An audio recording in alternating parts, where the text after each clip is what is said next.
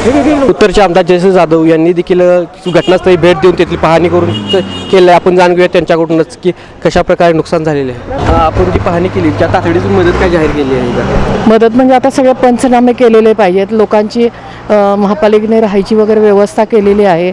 खाण्यापिण्याची व्यवस्था केलेली आहे. परंतु ह्यांचं प्रापंचिक साहित्य सगळं जळून खाक झालं आहे तर शासनानं पण त्याच्या त्याला त्यांना मदतही केली पाहिजे. आणि आता जी लोकांचा खूप प्रश्न आहे तो नक्कीच मार्गी लावला पाहिजे.